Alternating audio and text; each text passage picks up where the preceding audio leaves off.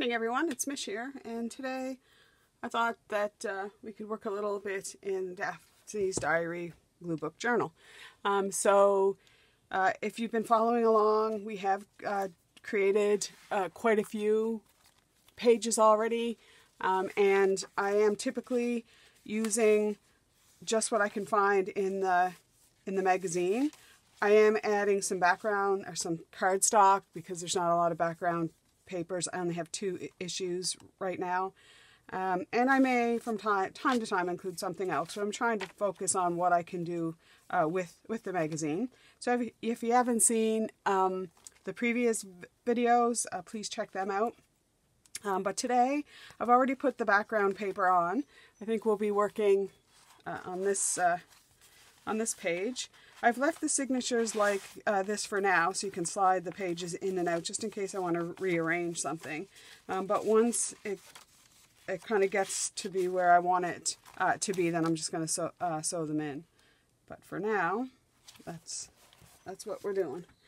Um, so I thought I was, when I started out this last couple days, I thought I would do um, a snippet roll. And um, kind of work on on that because uh, I think snip, snippet rolls can be really fun. But then I kind of thought I, and then what I was going to use the snippet roll for is uh, a belly band and then have the rest of it for something else. Um, but as I got kind of cutting away and I got out all kinds of my punches and just went through um, the various pages cutting out different shapes. So we've got scalloped hearts and hearts, all kinds of circles, um, my tab punch. So I tab, I got a punch, a, a punch, a, a bunch of tabs.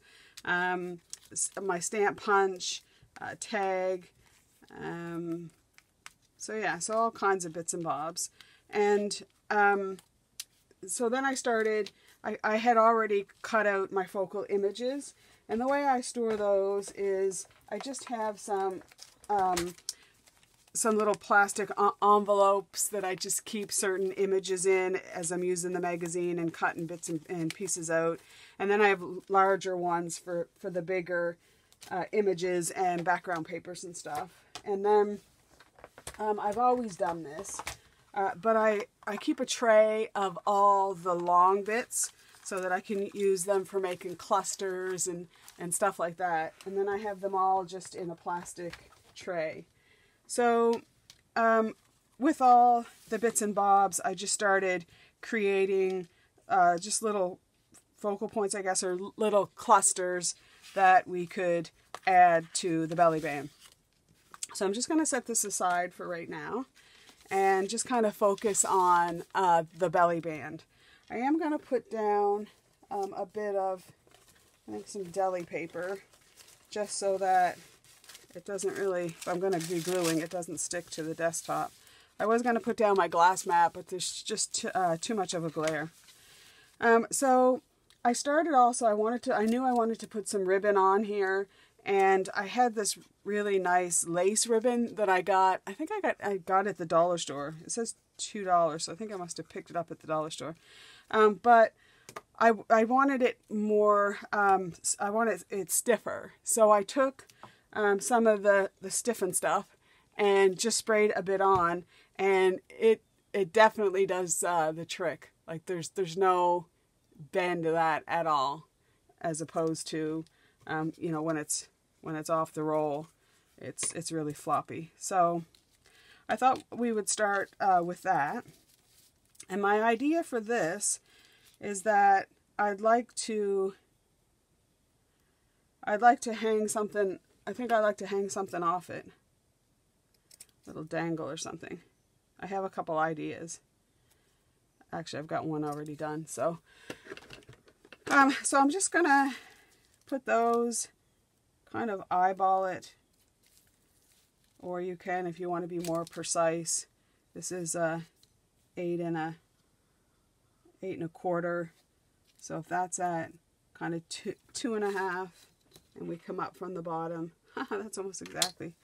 Um, that we'll put them right, uh, right, right about there. I am going to use uh, Fabri-Tac. I think I might have said that already. My nozzle. I've already cleaned it out, but it is so hard right now to squeeze that bottle. I don't know if you guys use uh, Fabri-Tac. Do you find the same thing? A little bit more. And I've cut the nozzle a little bit bigger. And I see people who use it on other videos and it just seems to flow out just really nicely and I can't really get that effect. So we're going to just put that down. Okay, and then get this one down roughly around this spot. I've been crafting the last few days. I've I've been off work. I've been off from work. I've my days off, but we've had some horrifying flooding.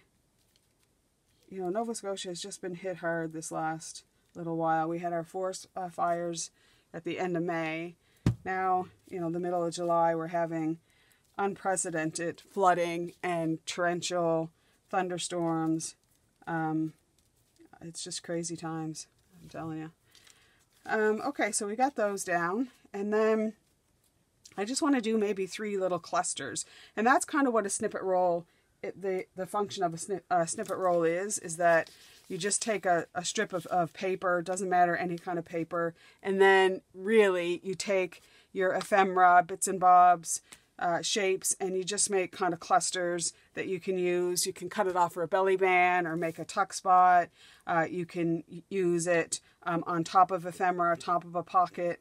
Um, you could take a bit off if you were making a little baggie of of um, items like um, what, what we did with the, the Hama or per perler beads and make a topper. You know, there's so, so many things you can do with a snippet roll. Um, but for today, I think we'll focus just on, on this bit. Um, so I wanted to kind of get a little bit more down in the backgrounds. So I'm going to go down. I'm just going to use normal Elmer's glue for this because you, you just really, it's paper on paper, so you don't need, I don't feel you need a Fabri-Tac. So I'm just going to put little circles in there. And these I just, again, cut just took my punches and stuff and cut it out of, cut out of the magazine. I'm fortunate because for these two issues, I do have two of them. The first one, um, it was before my subscription started, um, and now I have a, a subscription, and it just happened that the first magazine of the subscription, which was issue um, four, and was damaged in the post. It came uh, all ripped. So I contacted the people. So in, in U.S. and Canada, um, the magazine is sent, it must be sent from, I think it's printed in the Netherlands. It must be sent in bulk to Express Mag, and then Express Mag mails it out uh, from their uh, depot. Um, so I contacted Ex Express Mag and just said, you know, it, it was ripped and damaged. They only sent it in this little flimsy um, clear plastic baggie and of course it's going to get damaged. So, and anyways, they sent me another one, which I just received. So I'm thinking kind of something like that. So we'll put, and oftentimes if I'm doing collage, because snippet rolls, Franken pages, all those things, you know, it's basically a fancy way of saying collage. Everything's collage. It's just putting things together and random images and, and, um, pieces of ephemera, however you do collage. Um, and, uh, and yeah, so when I'm putting down the items, I often leave room around the edges. Like I don't put it down completely, at least not to start with, because uh, you might want to tuck something in underneath. And with that one, you know what? I think I like it on top better. Yeah, I like that. So as far as our rainfall goes, it's rained almost biblical proportions late, lately in Nova Scotia. Um, but we received in 24 hours as much rain as we would receive in three months of summer months. So that's, that tells you that's a lot. Um, and yeah, so, so like with some of these images, I just took my little punch, I cut out like the background shape, And then I had different Im images. I went to those little strips I told you and made little um, banners. Uh, so then I just layered uh, butterflies, cut out flowers. I also have a little uh, leaf stand um, punch. So I cut out some leaves. Um, for this one here, I just cut out three different size uh, circles and I crumpled them all up and then just glued a little button in the middle. Um, for this one here, I cut it a tag shape, but if you didn't have a punch, I mean, I really didn't need to use a punch. It's just because I, I had it. Um, then I just cut out the shape. I cut out some flowers. I had a little uh, sequin and a little uh, butterfly sequin. Um, and then just put some, some floss on it, some embroidery floss. And so I think maybe like that. You don't have to get too fussy about it. But sometimes your eye, you know, it just is attracted to a certain, I think that's too much blue, certain colors and, and shapes and, yeah, I like that better. Um, and there is this thing, the law of thirds, where, where you kind of cut your, um, put your paper um, in thirds and then thirds again, and you put focal points in different parts of the thirds. Um, but you know what? Sometimes you just look at something and maybe your eye naturally will, will do that.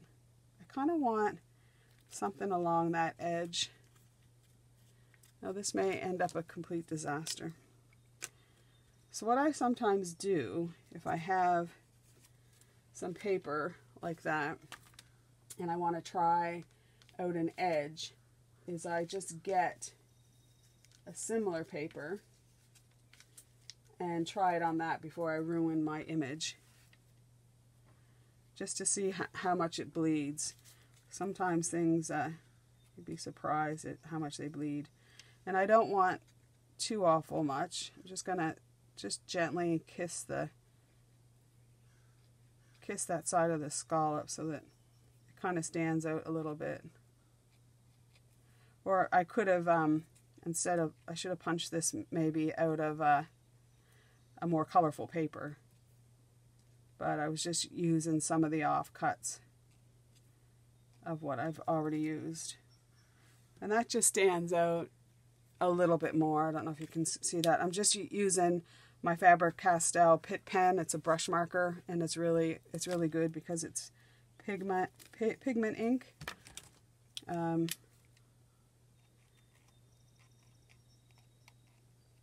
sometimes I can't talk and concentrate at the same time. So I do like, um, I do want to really thank those people who have been coming back to my videos and leaving comments. Um, it does mean a lot.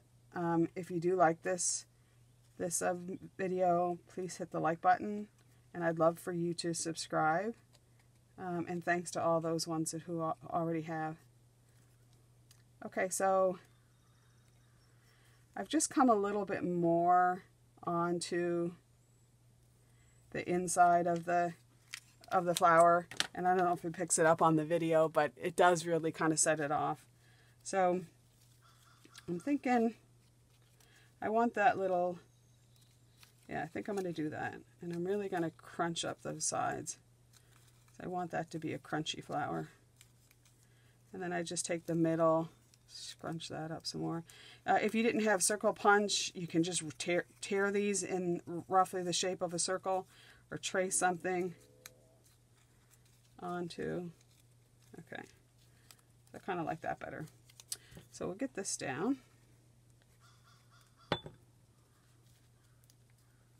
And I'm okay if it over overlaps the lace a little bit. We'll get our flower down. Okay, and then for the bottom one, I think I'll do the same kind of, I'll kind of mirror the top and the bottom, um, which means that this one would go down first because I'm going to tuck underneath it. The little gems, I just, they're actually nail gems.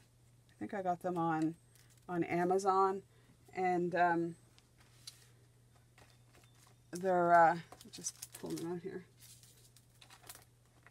Actually, I don't know where I put them. You just get them in a little kit, and I think they're for to put on the fingernails, but they work re really well um, on little items like the butterflies. And then I just use my quick quickie glue pen, and I just kind of dot and then stick them on with the um, with either um, one of these. I don't even know what they're called, jewel jewel picker, um, or um, just a pair, pair of tweezers. The thing I find with the tweezers is oftentimes I go to pick it up and then it pings across the room. Um, okay, and then with my flower punch, just cut, cut out a few of these little um, flowers you can stick on various places. Like there would be a good place. And the middle one, because the cluster's a little bit smaller, might want to put something else there. Maybe another little cutout flower. And I put a little tab on just on the side of that. It's probably not going to be that noticeable, but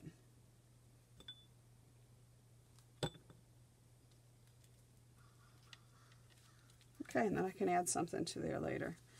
Something else. Something, something. Um, so I have this wee little tag punch. I don't even know where I got it. Um, I think I've had it like a long, long time. Um, I used to live in the UK and I, I think I must have picked it up there. But I punched out a bunch of those and then I took uh, this, I think it's a 1 16th um, punch and I punched a wee little hole and then just put a bulb clip on that. So I thought maybe could put that up here maybe on that side. Yeah. Can put this one up through this lace. And that's kind of why I wanted the lace a little bit stiffer, is just so it can create a bit of an arm so you can hang your, your dangle off of. Um, and the other thing I kind of did yesterday is I took my waxes. Um, I don't have a wax burner, it's on my list, but I keep all my kind of um, stamp, stamping wax and, and, stamps in this little box. So I went and found a couple colors that I thought might um, look good. And I chose uh, the pink and this kind of copper color. And I was just thinking that we could hang one of those off, off, off of there, maybe the other side, to offset uh, this little dangle. Or would it look better down there? But yes, yeah, so I thought I'd use one, one of those. And then just put a little uh, put a little hole in there. And then just use uh, a little slip ring around the through the top of the hole. You can get it through the hole. The side of the, oh there we go.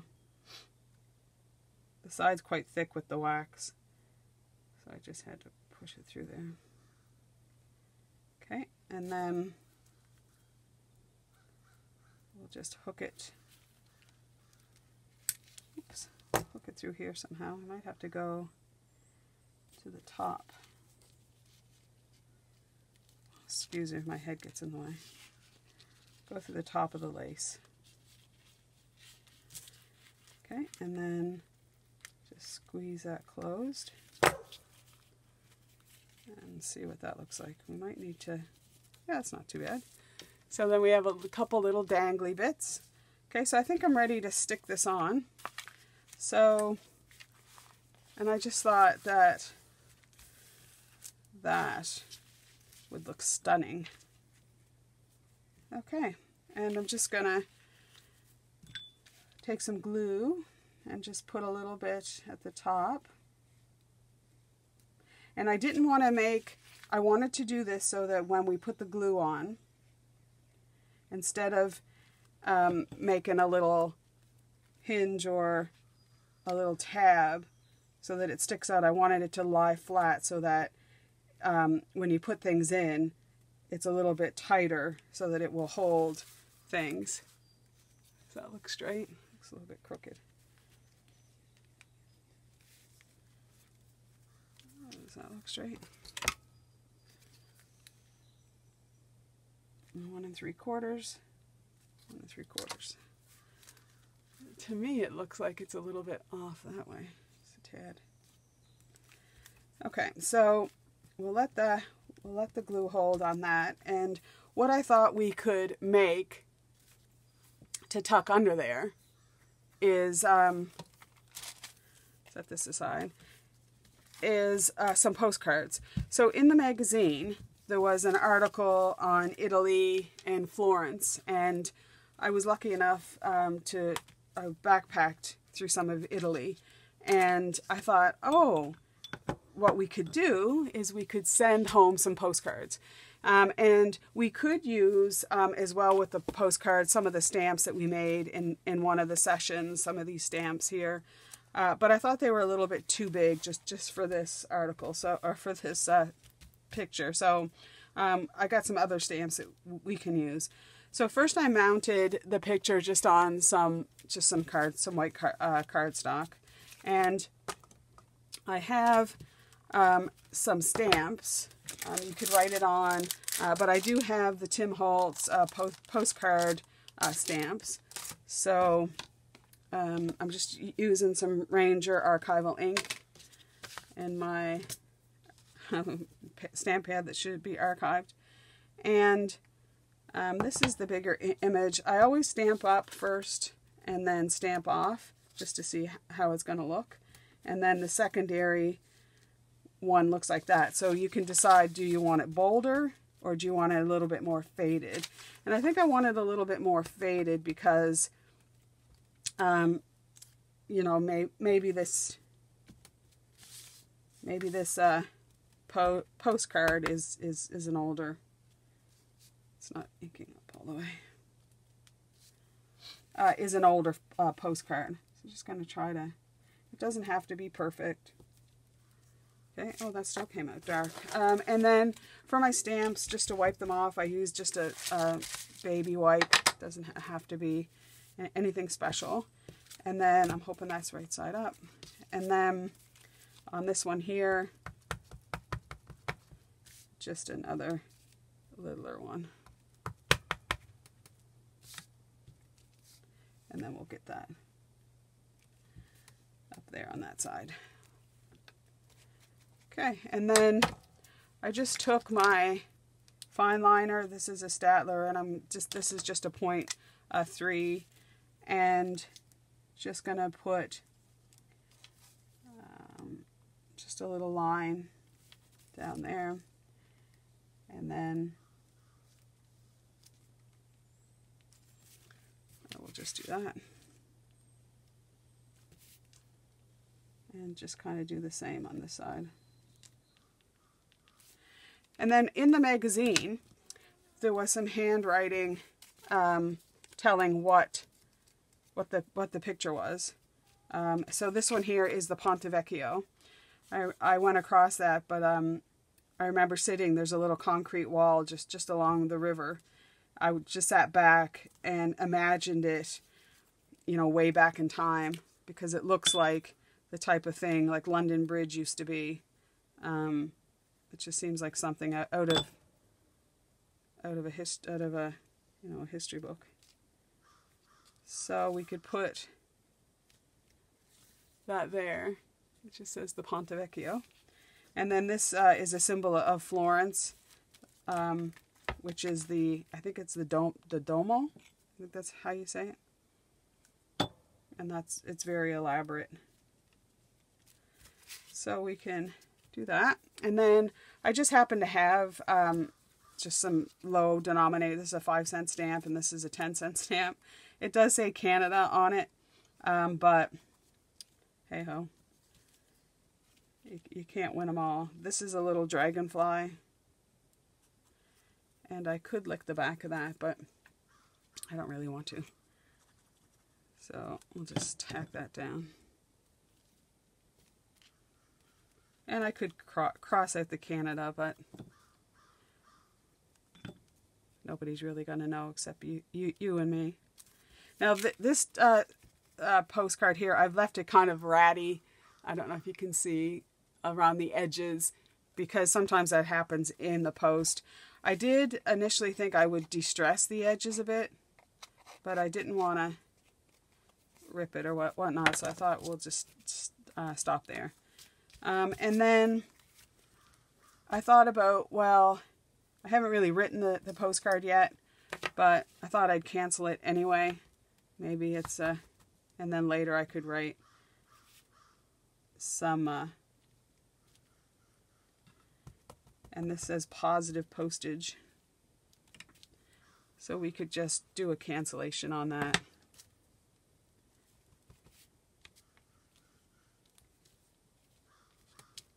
Yeah. So, so then we have a little bit of something that we can close that stamp header. I'll have it all over me. Um, that we can tuck into our into our belly band. Uh, once we oh yeah, so we can stick it back in our book. And I think it came out right here. And